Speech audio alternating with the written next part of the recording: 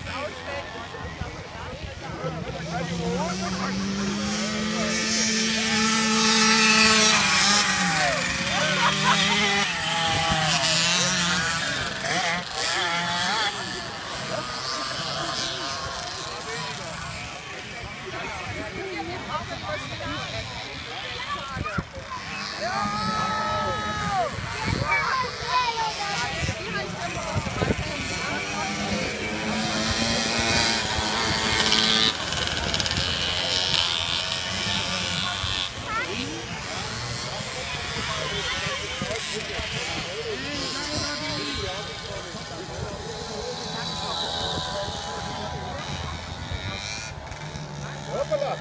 Vamos entender?